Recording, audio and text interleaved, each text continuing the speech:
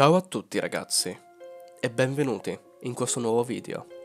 Io sono T ed oggi siamo qui per analizzare un nuovo elemento SCP.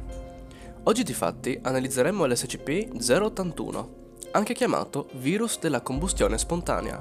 Elemento SCP-081 Classe dell'oggetto Euclid Procedure speciali di contenimento Solo coloro che hanno un permesso scritto e chiaro di livello 4 da parte di possono accedere a SCP-081. Strumenti completi a rischio biologico, inclusi tuta, guanti e tanica d'ossigeno, devono essere indossati tutto il tempo, quando si è presenti nell'area di contenimento. Le tute devono essere spruzzate con una doccia chimica prima di lasciare l'area. Se è presente una breccia nel perimetro, l'intera zona deve essere esposta ad una luce ultravioletta e poi lavata con della candeggina. Coloro che sono sospettati di infezione devono essere isolati in quarantena per almeno 10 giorni. Se nessun sintomo si manifesta dopo il decimo giorno, la quarantena può essere revocata.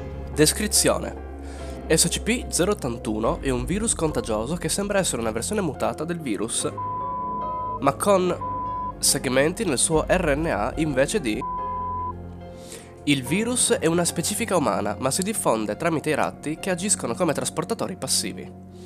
SCP-081 può essere diffuso tramite rapporti sessuali o tramite sangue infetto. SCP-081 infetta adipolisi e leucociti, inducendo entrambi ad assorbire con un tasso accelerato i nutrienti.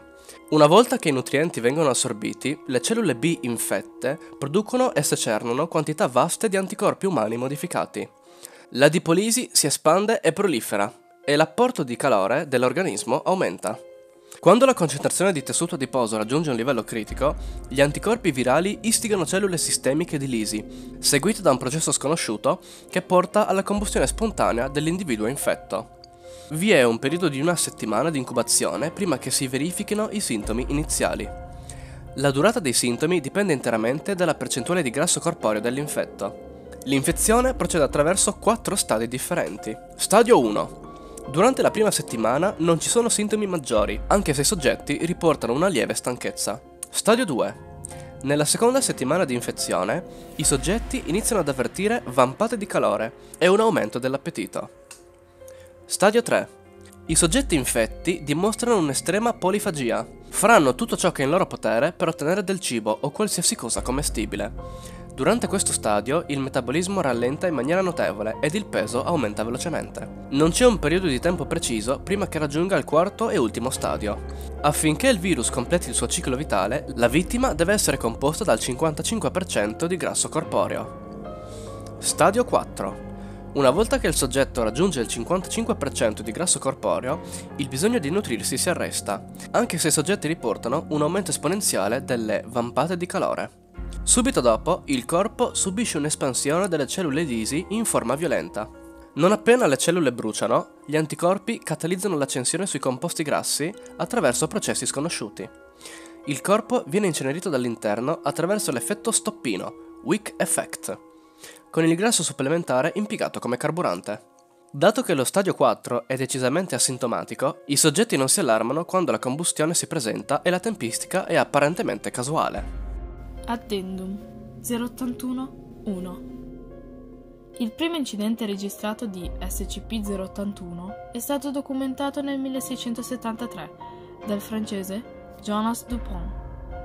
Nel suo libro De incendie corporels humains spontaneux scrisse il caso di un uomo assolto dall'omicidio della moglie, dato che la giuria consentì che la moglie fosse morta per combustione spontanea.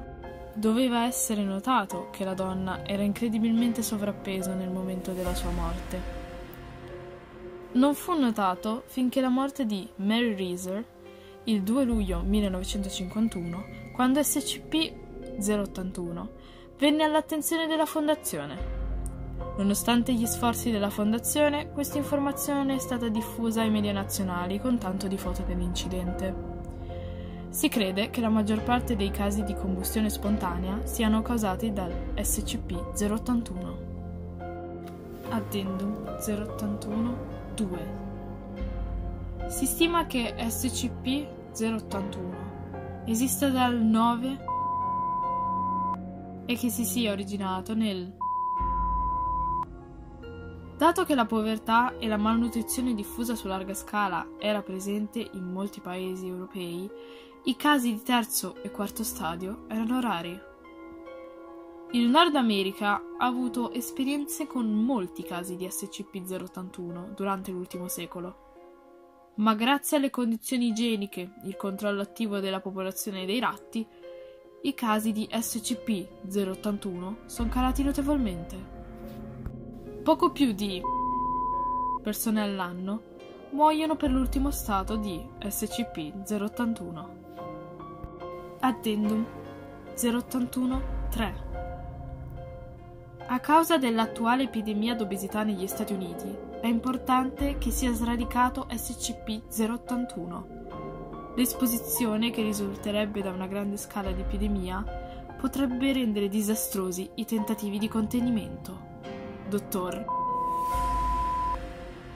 Addendum 081 4 Durante i test è stato riscontrato che le persone che soffrono di diabete hanno una immunità naturale a SCP-081.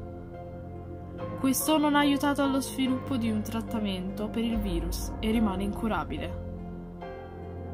Si prevedono infezioni selvagge Dati cancellati. e una causa alternativa di morte. Addendum 081 5 È stato riscontrato dall'agente che SCP-081 può diffondersi tramite l'esposizione delle ceneri della vittima deceduta. Protocolli di continenza epidemica e contenimento sono stati emanati e il personale di servizi d'emergenza che risponde al nome di MS sono stati richiamati per l'evacuazione. Dottor